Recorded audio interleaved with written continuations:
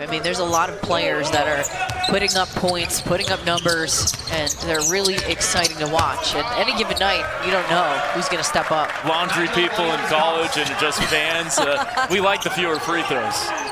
I bet Jameer doesn't like it because he's not used to it. We're just not used to it. Steal on the inbounds pass and finish for Juwan Morgan. Oh, nice, Nice. wraparound feed. Really nice pass. Malik Ben Levy with the rebound and bring up. Morgan straight on triple, straight through the shoot. Boy, I, I think he'll he'll certainly be someone to look out for in the league. He's 70 just terrific. 71 from the field just went up there.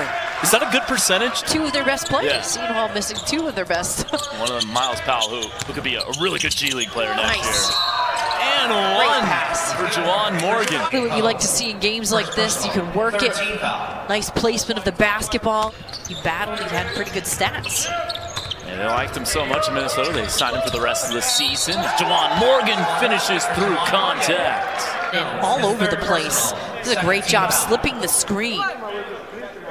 Recognizing it. That's got to be. You can execute it. That's the other part of the equation. You can be smart and not be able to execute it, or you can be super athletic.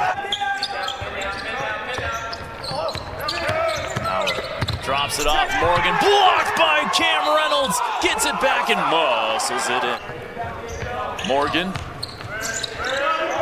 gets it back. Finishes inside.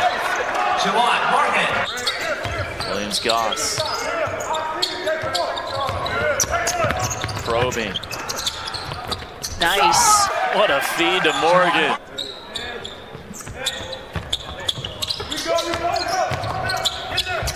Terrific two-man game. They are just rolling with the pick and roll. Big man Juwan Morgan off the pick and roll, and he is rolling straight to the rim. And then the help is a little late.